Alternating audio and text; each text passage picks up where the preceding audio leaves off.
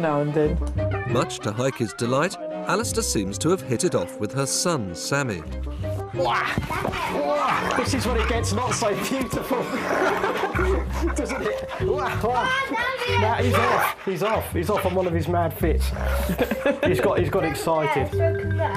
What here? And does that calm him down? Heike and Alistair have been together for a few weeks now, but what no one is sure about is whether this is really developing into a serious, long-term relationship.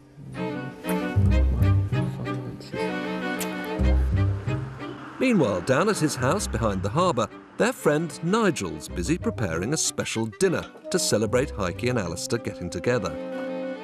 After his son sent him a good luck totem from the South Pacific, Nigel caught his first lobster in three years of trying.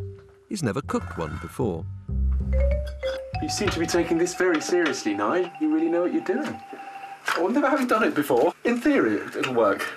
So is Scilly in shock that you've uh, you're now on? It actually went out on the radio, which uh, was a bit embarrassing. That was thanks to Carol.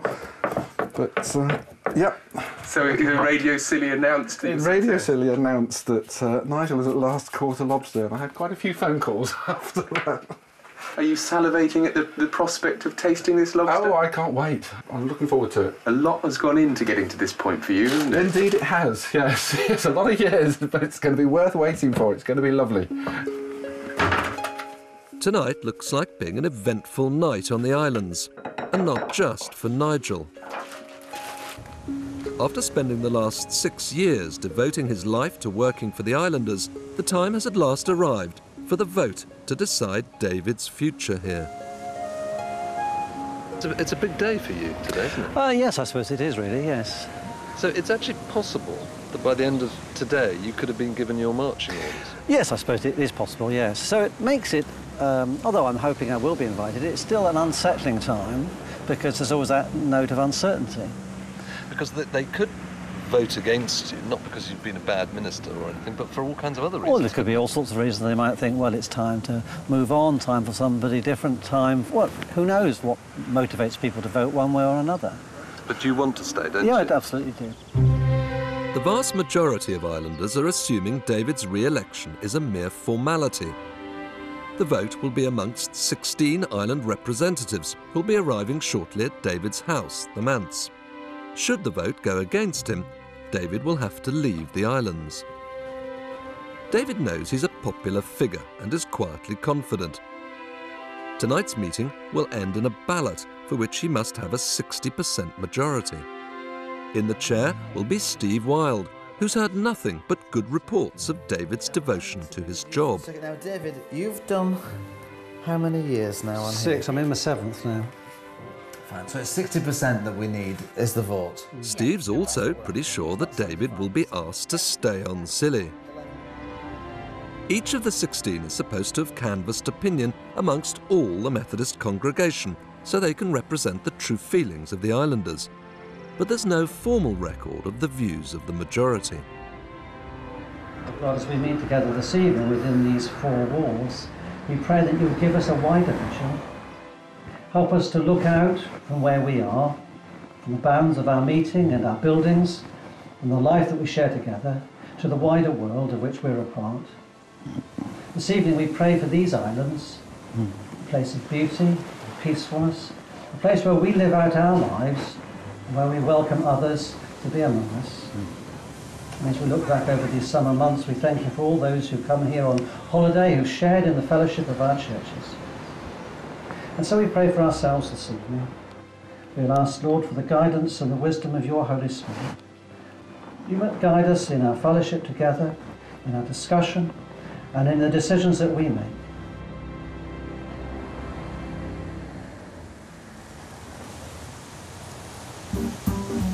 Elsewhere on the island, there's a happy, festive mood in the air. Down at the Atlantic, Sophie's having a few drinks with friends and family before her big day. How many people invited to the wedding? About 120. To the oh, wedding? To the actual wedding? Wedding, yeah. Big oh, church. big's the church? It's a very small church. Do you know what's going to happen tomorrow night? Did your mum have a word?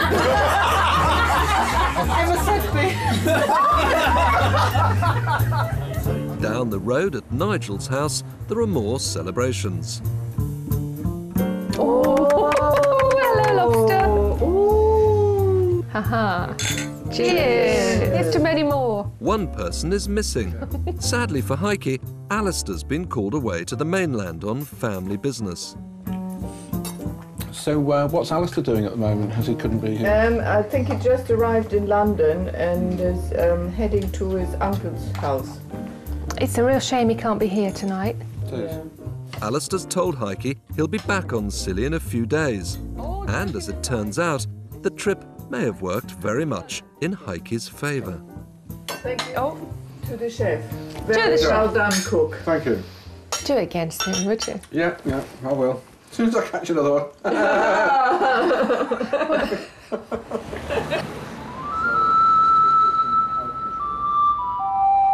Back at the manse, the meeting to decide David's future is still in progress. It was expected to have finished long before now. The result won't be made public until tomorrow morning.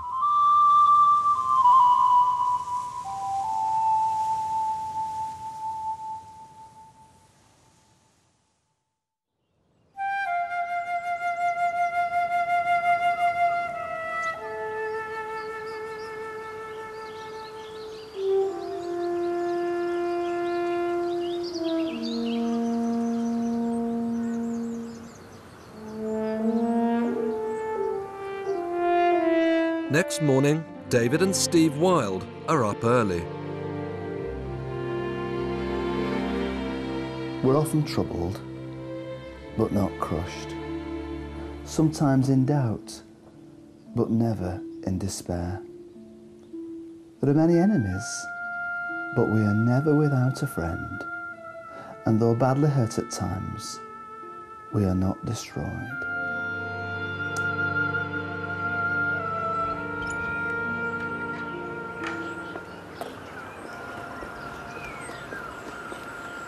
So, good morning. What's been the decision?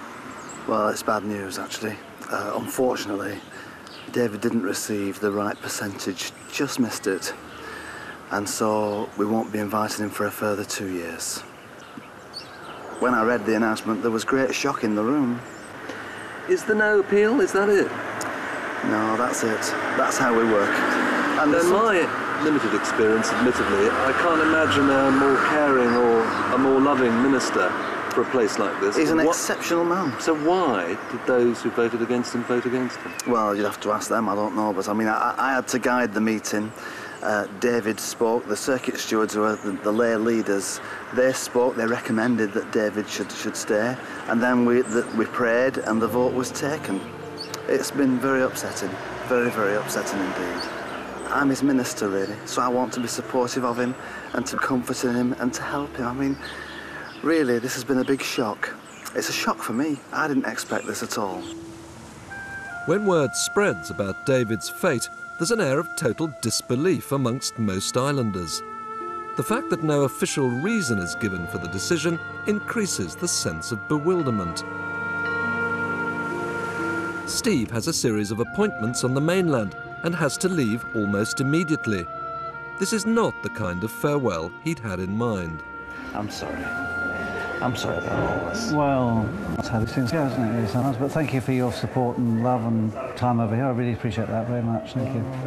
It's been, it's been a special time. I felt very close to you through this, mm. but it's a horrible thing to have had to go mm. through with you, really.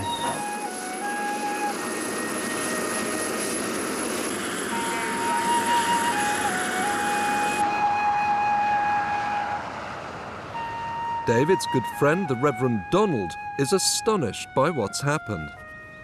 It's come as a big shock, quite a, a, a body blow to learn that David will be having to leave the islands. He's loved these islands and all its people, not just his Methodist flock, loved all the people uh, with a great, great passion and, and served them so well. Talking about David and what's happening is one of the hardest things I've had to do for you on, on camera. I really love that guy. I've learnt so much from him and, and sharing with him. Yes, this has been one of the hardest bits of filming that I've had to do for you.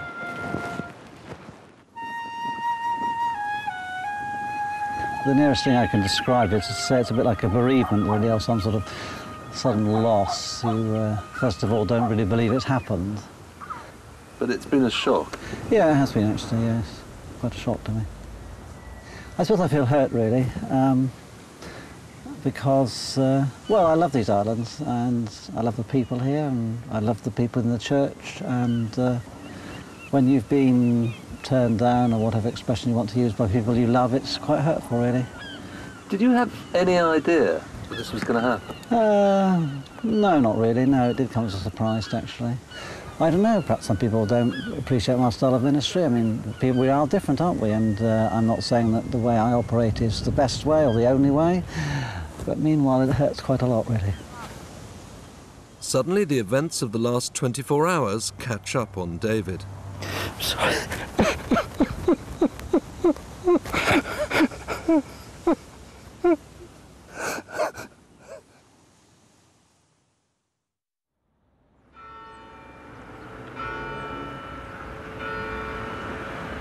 There's no respite or escape for the minister. Ahead lies one of his busiest days of the year. First comes the big Harvest Festival service. David has no choice but to put on a brave face and get on with things. Good morning. I'd like to uh, welcome you here this morning to our Harvest Thanksgiving. It's really good to be able to share together with you all. And uh, could I also say on a more personal note, thank you very much to all those who've telephoned or sent cards or letters over the past day or so. I very appreciate that very much. Thank you. Now we'll say the harvest blessing together. May the love of God surround us. Meanwhile, down on the quay, people are gathering to go off to Sophie's wedding on St Agnes. So sorry.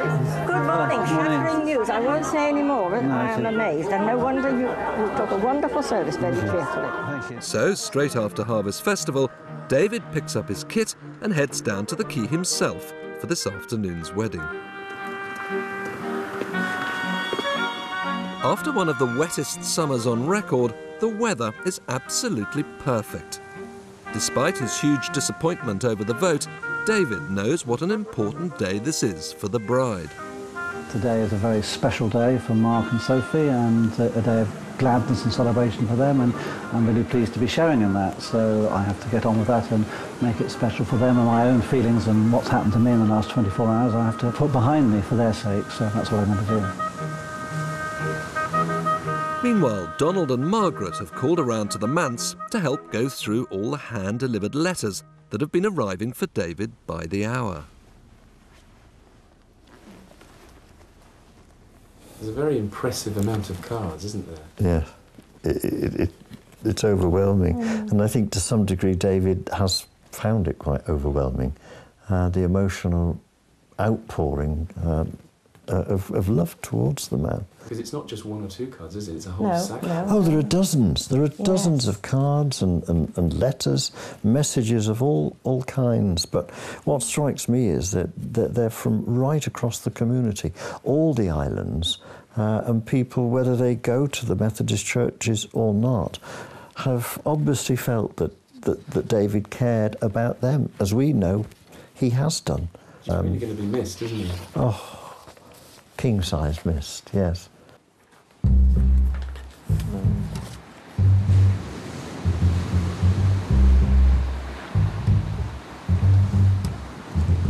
A few days later, and Heike is beginning to realise that after just a few short weeks, her world has been turned upside down. Alistair's not back yet, but that hasn't stopped the progress of their high speed romance. Hello? Hi. Yes, I'm fine. How are you doing in London?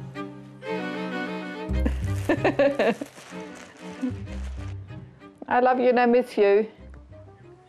So is he calling a lot? Are you uh, are you getting a lot of contact from him? Sort of three to five times a day. You missing him? Don't ask me those private questions, but I can say yes. We I take do. that as a yes. Yes. Oh, you're bashful. Oh.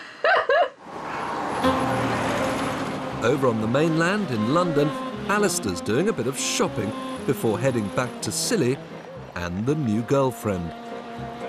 Things seem to be getting very serious indeed.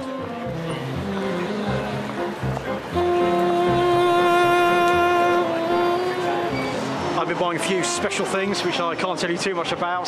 You know, it's still early days. I think it's been maybe five, six weeks now, something like that. But um, yeah, I, I'm, you know, really, really happy with the way things are. She, she's a lovely, lovely person, and she's just great fun to be with. Very vivacious, very bubbly, very outgoing. Here I am up in London, really missing her. So what does that tell you? There must be something in it, I guess. You're missing So, her. Yeah, I'm missing her terribly. Yeah, I, I'm really actually now. I've had enough, and I want to get back to Scilly. So, you know, I just want to get back, uh, see Heike again, see Sammy kick a ball around on the beach. And you get on very well with Sammy. But yeah, Sammy's great. You know, we, we play football together. You know, we're good mates, I think. Is it true love, Alistair? Yeah, I, I, I think so. Yeah, yeah.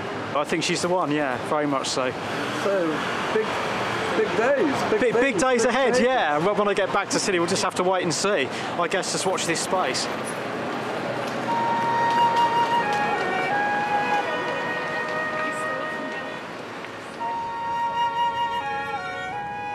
Back on Scilly, and it's a pivotal moment in the life of this remote community. People from all five islands are gathering up on Tresco to pay tribute to Donald and Margaret.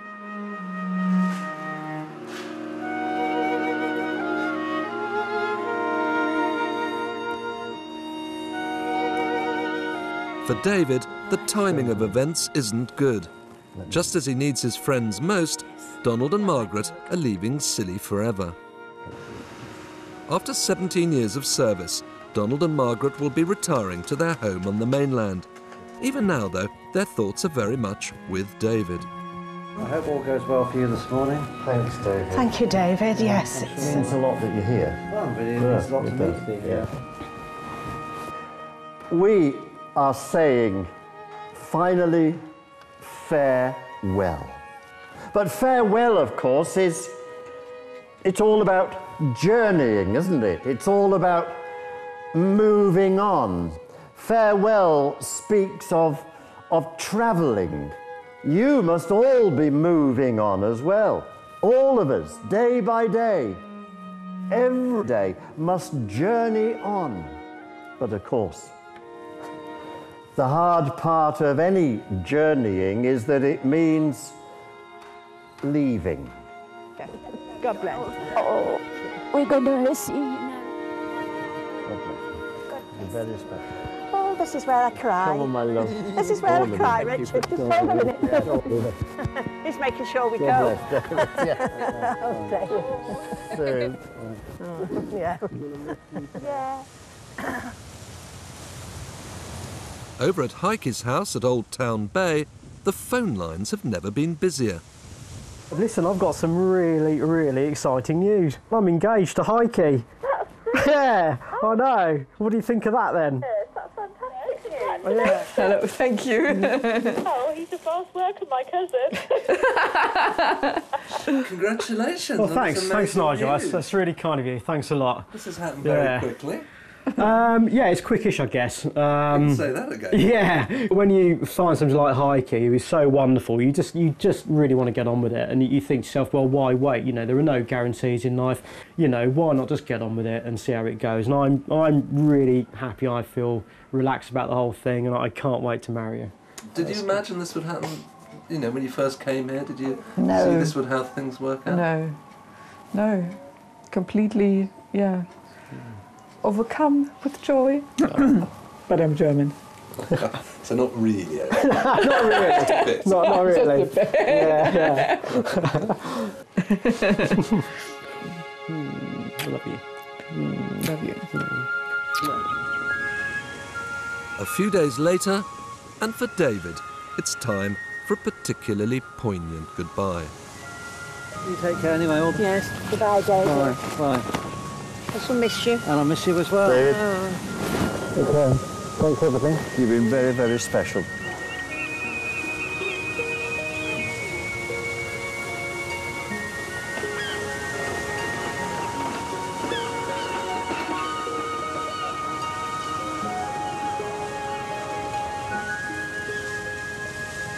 I can't pretend that this hasn't hurt because it has hurt a lot. But it's no good me wallowing in bitterness or resentment about all of this. I've got to move on with my life. I mean, life is a journey and you have to go on. I have to go on. The local people here in the church and community have to move on as well.